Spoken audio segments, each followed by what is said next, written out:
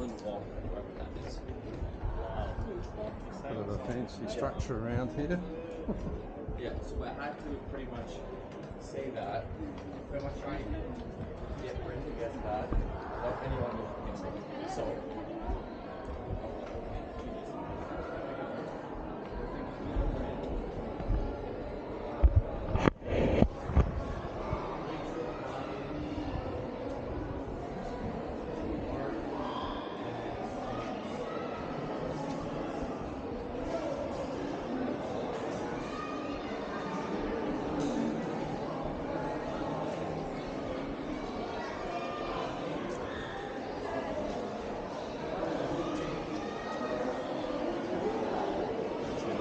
Ceiling here.